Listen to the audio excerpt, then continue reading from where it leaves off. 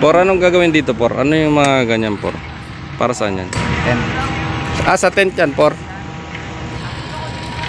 Eh, ito, Por, ang inuukay. Para saan to, Por? Yan yung supply ng tent. Supply ng tent. Supply ng tent.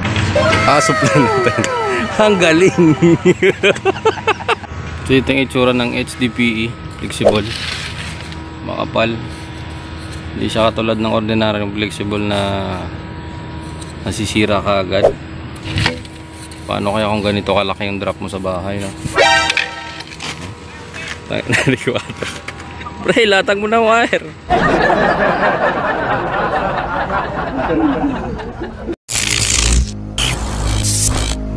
So dito kami mamaya ni paring Miranda. Tigil muna kami dun sa wrapping ins sa merge. So bubutasin namin to kasi electrical room to. Taasin namin yung lalim niyan patagos dito sa manhole. Kasi dito na yung pinaka feeder. Yun na yan. So nalatag na din nila to ng ibang tropa papunta ron sa isang manhole. So, ang haba na ito. So magmamanhol pa ulit doon sa dulo. Papunta ron. So yung ibabaw na yun, yung mga diuno para sa street light dyan. Pabalik doon sa may malapit sa kalsada.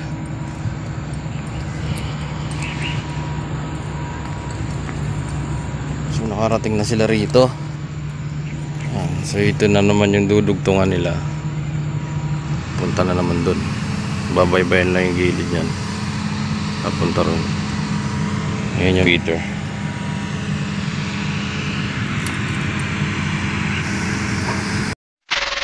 So ayun na nga, all goods na kami rito sa manhole para dito sa electrical room. So kanina binutas na namin yung gilid para makalusot tong ah, flexible na D4. Flexible na HDPE na pwede siya pang buried katulad nito.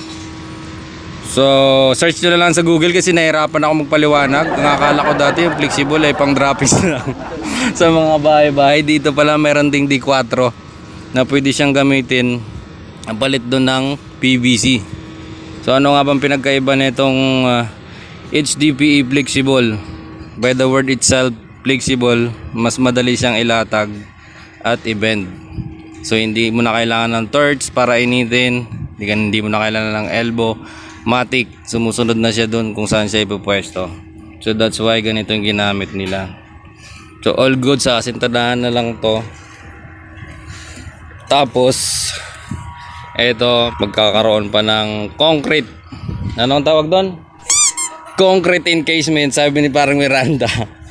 So, ikaw concrete encasement pa to para syempre protection sa mga pipe. So, all good sa kami rito. Ito lang ginawa namin. So, dyan lumusot yan. Bali, ano yan? Anim na flexible na D4. Tatlo sa feeder. Tapos tatlo na, tatlong spare para sa mga home run at kung ano mga idadagdag nila meron silang spare dyan sa ilalim. Magkakaroon pa ng gutter yan nandito yung panel sa taas. So all goods. Nandun sila ni parang Jobert nagukay kukulitan na. Yan si Foreman saka yung mga bossing nandyan. So ongoing yung para dito sa bubong. Transformer. Parang tubular siya na ano na may puzzle. Tatayo na lang nila yan. Tapos lalagyan ng trapal kasi trapal daw ng ibang klase yan. Basta yun yun. Papakita na lang natin sa inyo sooner ito yung inukay nila ni parang Miranda ngayon at ni Kuya Alex ay para sabang ng mga aircon yan pre shout out kaway kaway muna suplado suplado mayayain Por anong gagawin dito por? Ano yung mga ganyan por? Para saan yan? Tent. Ah, sa tent yan, por. Eh, ito, por, ang inuukay. Para saan to, por? Yan yung supply ng tent. Supply ng tent. Supply ng tent. Ah, supply natin. ang galing. See you tomorrow. That is it. Let's go. All goods.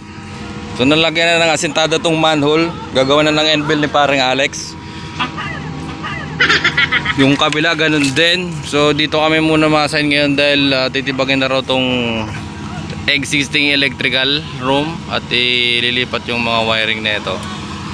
So, nagabang na kami rito. Nagdala na kami ng mga wire. At nandito na sila ni paring Liban, So see you later guys, let's go! So ayun na nga, nagwa-wiring na kami ng para dun sa pipikapin na ano, mga home run, papunta ron sa kabila. Dito kami sa unang manhole.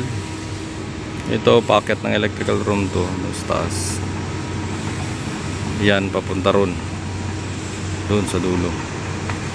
Kasama namin dito si Jobert, paring Miranda, sa bagay at saka si Liban. Dance break. Pahinga muna. Yan yung mga tropa sa likod. Umuulan. So nahila na namin yun sa isang pole box. Yung ah, 8.0. Yung isang sirkito pa lang kasi nga naulan. Wala dun. Sa dulong box. Hanggang dun. Sa. Panel board design fabrication na mura quality ang hinahanap nyo. Ang Dong A Panel Board Fabrication Corporation ay gumagawa customized panel board at ito ang mga ginagawa. Meron silang ATAs, automatic transfer switch, switch gear, distribution panel MCB with stainless enclosure at iba pa. Comment lang kayo sa description box para mabigyan ko kayo ng kompletong detalye about sa fabrication. Huwag kalimutang sabihin ang magic word Katatoko TV para magkaroon kayo ng discount. O saan ka pa? Mura, may discount ka pa kapag sinabi mo yung magic word Katatoko TV. Without further ado, punta na tayo sa vlog. Let's go! Ngayong umaga pa padudot. Lumabas ako ng pentuan ngunit signal number 2 na pala kami dito sa Batangas papadudot. Mukhang hindi nga matutuloy ang pasok papadudot. Ako'y bababa muna dito sa kabilang room papadudot. Titingnan ko kung ano nga ba ang ginagawa ng mga tropa dito sa kabilang kwarto papadudot. Kahapon lamang papadudot ay nagumpisa na ang malakas na ulan papadudot. Ngunit nang pagpunta ko rito sa kabilang kwarto papadudot, aking nakita na nakahilata pa yung isa papadudot. Piliin mo na, pre. Diyan, be, ah, pinapapili na kita. Kung sino ba talaga ang mahal mo, ako ba o si Kuya Will? Kailangan mo na dyan sa taas na. Kagabi lamang ay hinipuan na kita. hindi mo alam, hindi mo ba nahalata? See you in my next vlog. Maraming salamat sa patuloy na sumusuporta sa aking YouTube channel, sa Katatoko TV. Sa mga bago at maligaw sa channel ko, please do subscribe Katatoko. Don't forget to click the notification bell para ma-update kayo sa mga videos sa ating ina-upload. Thank you so much. Peace, peace, peace. I'm out.